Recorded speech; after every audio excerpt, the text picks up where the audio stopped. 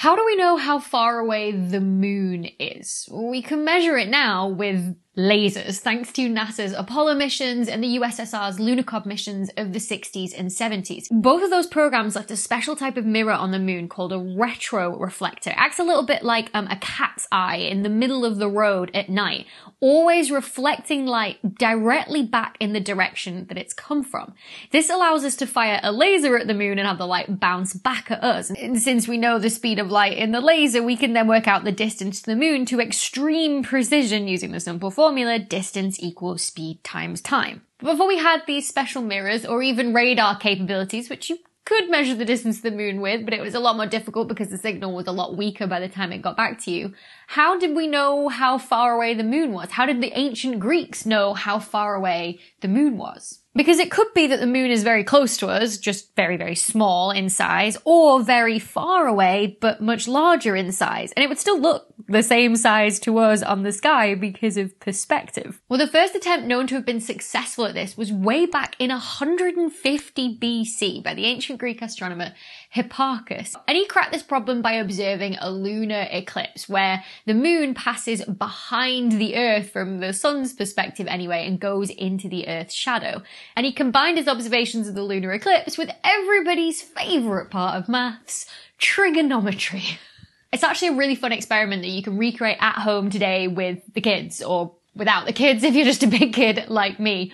Plus, it's a really neat little bit of science history, and you know I love my science history, so let's dive into this. Now, during a lunar eclipse, the moon passes into the Earth's shadow, which is circular because the Earth is round. And so when the moon starts to pass into that shadow, you see the edge of it, the curve of it cast onto the moon's surface. But if you follow the shape of that curve, you can actually draw out a circle for the full size of the Earth's shadow, and therefore the size of the Earth if it was at the same distance as the moon. We've actually just had a lunar eclipse that was visible across much of the Americas, Europe, and Africa on the 16th of May. But don't worry if you missed it. You can literally grab any image of a lunar eclipse that you can find, either one you've taken yourself or one from the internet, where you can see that curve of the shadow. And you can use that to figure out the full shape of the Earth's shadow, either with a homemade compass of a pencil and a piece of string, or you could do it digitally on your computer. And then you just need to measure the total width of the moon and then the total width of the size of the Earth's shadow that you drew, whether that was with circles on your computer just comparing point sizes,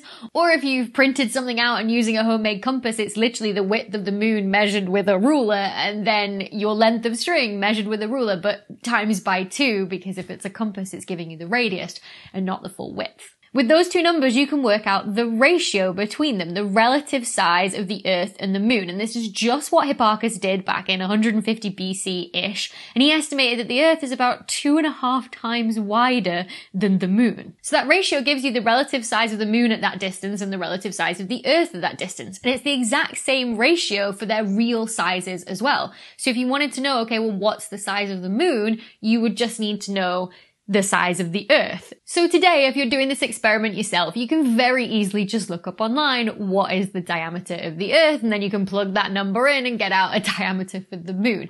But of course, the ancient Greeks couldn't exactly do that. Now, Hipparchus actually left all of his numbers, his working in terms of, you know, the size of the Earth. So the moon's size was expressed in terms of like the Earth's radius, and the moon's distance was expressed in terms of the Earth's radius.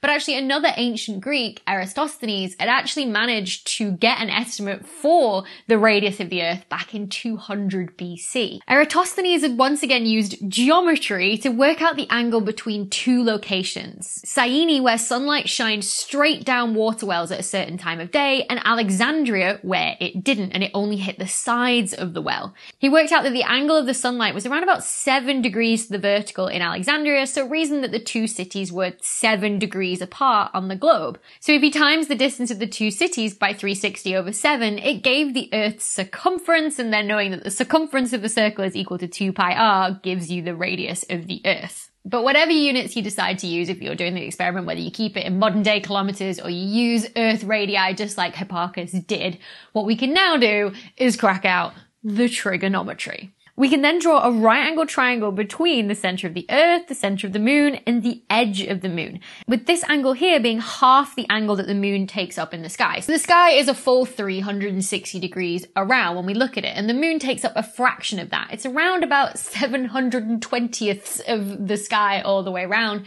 making the full moon around about a half a degree across. And so half of that angle means that it's around about a quarter of a degree. So the tangent of that angle, a quarter of a degree, then is equal to the radius of the moon divided by the distance to the moon. You can then rearrange that equation to get the distance to the moon is the radius of the moon divided by the tangent of 0.25 degrees. This is pretty much what Hipparchus did as well, and he got a value for the distance of the moon at 61 times the radius of the Earth which is pretty remarkable because today's modern values put it around about 60.3 times the Earth's radius on average. Remembering that the moon's orbit isn't a perfect circle, so sometimes it is further away from us and sometimes it is slightly closer, but on average its distance is around about 60.3 times the Earth's radius.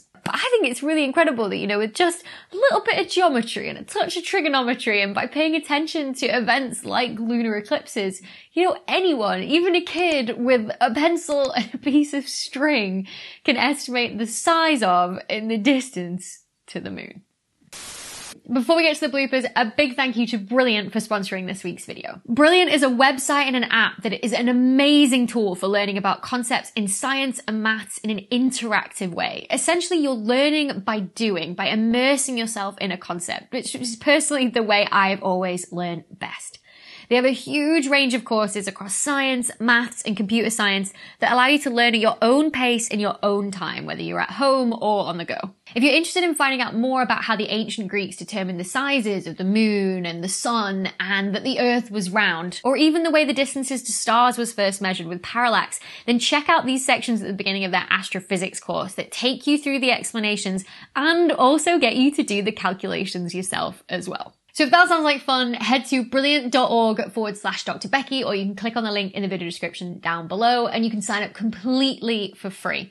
Plus the first 200 people that go to that link are going to get 20% off an annual premium subscription. So thank you so much to Brilliant for sponsoring this video. And now, roll those bloopers. Ideally, you'd put paper down, but apparently we, we don't have any paper in this house. And also, the only string we have is cotton twine. And he combined those observations of lunar eclipses with everybody's favourite part of maths, trigonometry. I feel like I'm on like, I don't know, like Sesame Street or something like trigonometry. Had already managed to estimate the size of the Earth. Eratosthenes, Eratosthenes. Oh, we've been here before. Eratosthenes, Eratos, Eratosthenes. But actually, another ancient Greek, Eratosthenes, I can't say it like that. That's how I remembered it last time. Eratosthenes. you gotta say it all smushed together, Becky. Eratosthenes. Oh, I've just realised I never checked the pronunciation of Hipparchus. Uh, I bet someone in the comments is going to spell it out phonetically for me and it's going to turn out it's pronounced like Hip Park Coos. I can measure the distance of the Earth's own moon. Somehow I'll draw a circle